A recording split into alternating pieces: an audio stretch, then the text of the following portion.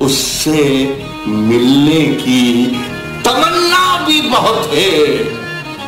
लेकिन आने जाने में किराया